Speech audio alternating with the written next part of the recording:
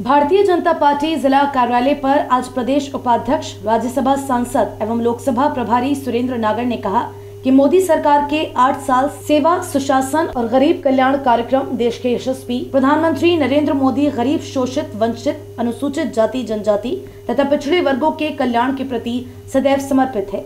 मोदी जी के नेतृत्व में केंद्र सरकार के आठ वर्ष 30 मई 2022 को पूरे हो रहे हैं। इन वर्षों में जहाँ एक और ऐतिहासिक निर्णय देश के हित में लिए गए हैं। वहीं अंत्योदय की लक्ष्य की प्राप्ति की और अग्रसर होते हुए देश विकास के क्षेत्र में नई ऊंचाइयों को छूते हुए निरंतर प्रगति पथ पर आगे बढ़ा है। उन्होंने कहा कि राष्ट्रीय अध्यक्ष जेपी नड्डा के निर्देशानुसार 30 मई से 15 जून तक देश भर में बूथ स्तर तक आठ साल सेवा सुशासन और गरीब कल्याण कार्यक्रम मनाया जाएगा।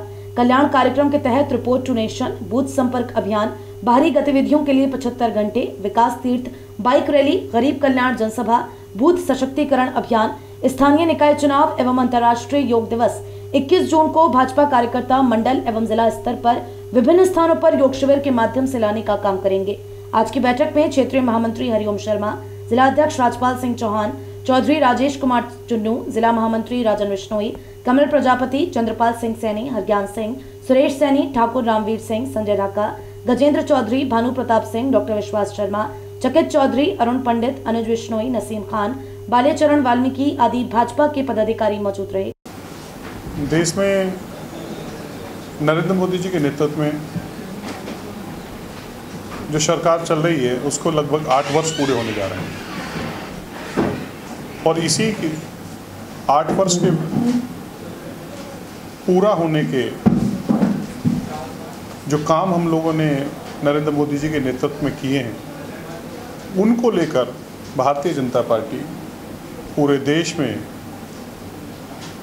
गरीब कल्याण के लिए जो काम किए हैं, आम लोगों के लिए काम किए हैं, गरीबों के लिए प्रति समर्पित ये सरकार है, उसको लेकर कई अभियान इस प्रदेश में और देश में चलाए जाएँगे। जिसमें सबसे पहला जो काम होगा,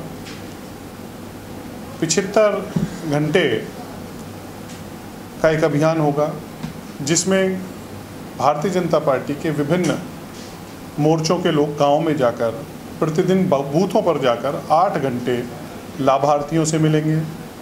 वहाँ जो हमारा वृक्षारोपण कराएँगे, जो प्रभावशाली लोग होंगे, उनके साथ भोजन करेंगे, और जो अन्य योजनाएँ हैं, उसका, जो योजनाएँ हमारी हैं, उनका पत्रक लोगों को देंगे और जनसंपर्क करने का काम करेंगे। इसके अलावा पहले हफ़्ते में जो उपलब्धियाँ हैं नरेंद्र मोदी सरकार की, उनको लेके एक प्रेस कॉन्फ्रेंस जिला स्तर पर होगी। इसके अलावा युवा मोर्चा एक जन जागरण अभियान चलाएगा, जो बाइक रैली के माध्यम से तीन दिन का कार्यक्रम होगा। इसके अलावा जिला स्तर पर एक बड़ा लाभार्थियों का, जिसमें लगभग पाँच हज़ार की संख्या होगी, एक सम्मेलन होगा पूरे ज़िले का, जिसमें लाभार्थी की संख्या पाँच हज़ार का एक कार्यक्रम होगा। उसमें प्रदेश से कोई हमारे नेता आएँगे, उसको सभा को संबोधित करेंगे। जिला स्तर पर भी जो हमारे दस लाभार्थी हैं, उनको बुला, उनके, उनको भी सम्मानित करने का काम करेंगे। इस तरीके के जो, और इसके अलावा जो बूथ हैं हमारे, जो बी ग्रेड सी ग्रेड और डी ग्रेड के बूथ हैं, उनको सशक्त करने के लिए, उन बूथों को मज़बूत करने के लिए भी एक अभियान चलाया जाएगा। जो नगर पालिका के चुनाव आने वाले हैं, उनके परिसीमन को लेकर उनमें वोटिंग वोट बढ़ाने को लेकर भी एक अभियान इसका हिस्सा होगा जो ये अभियान जून के अंत तक चलेगा। इसके लिए आज जिला मुरादाबाद की जो हमारा ज़िला है उसकी आज एक बैठक अहम बैठक है और प्रमुख लोग इसमें आज भाग लें। ये अभियान आपका कब से शुरू हुआ और कब तक चलेगा? ये अभी तो पहला इसका है कि अभी हमारी बैठक होगी आज। इसके अलावा फिर हमारा मंडल स्तर पर बैठक होगी। फिर ये जून जून के अंत तक ये कार्यक्रम चलेगा।